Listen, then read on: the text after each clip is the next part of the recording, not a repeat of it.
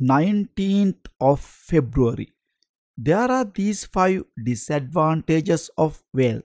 What five? Wealth is in danger of fire, flood, kings, robbers, and unloved heirs. Then there are these five advantages of wealth. What five? With the help of wealth, one can make oneself happy, one's parents happy, one's wife, children, servants, and workers happy, and one's friends and companions happy.